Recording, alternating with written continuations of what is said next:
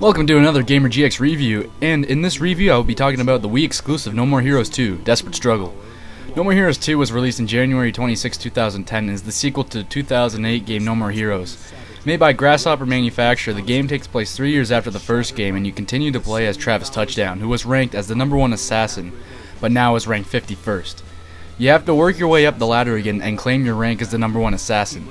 So I will go through four categories, graphics, sound, gameplay, and replayability, so let's take a closer look at No More Heroes 2 Desperate Struggle.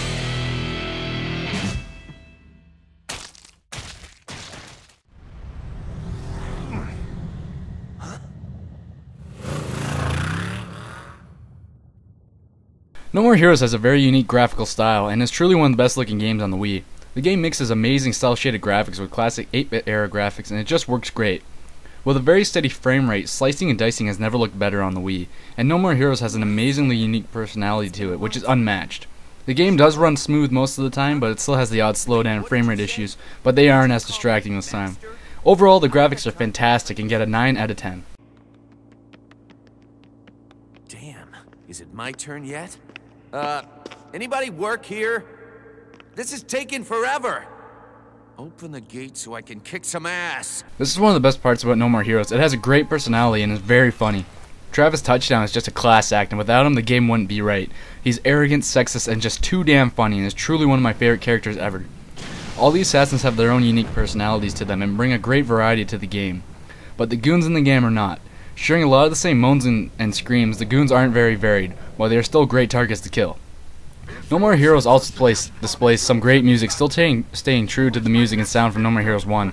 But this time, the 8-bit music is just awesome and really brings back memories of playing the good old NES. So on that note, No More Heroes displays amazing sound and gets a 9 out of 10. Bastard!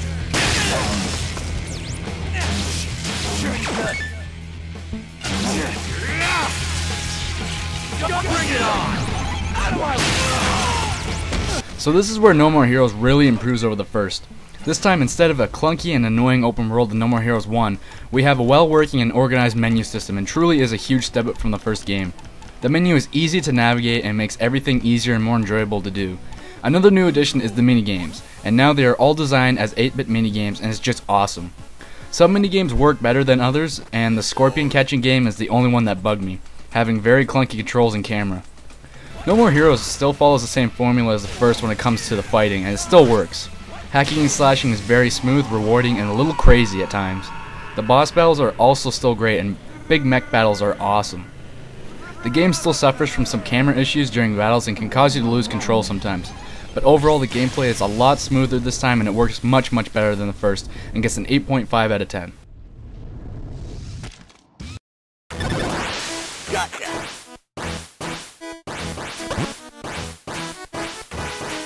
The main story can be beaten in about 10 to 12 hours, but No More Heroes offers more than just mindless killing.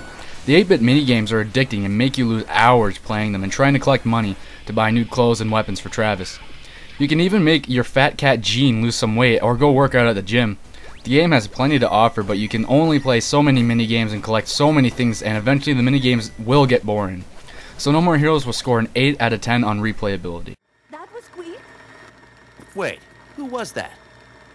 Um, uh, who? That person? Uh, nobody.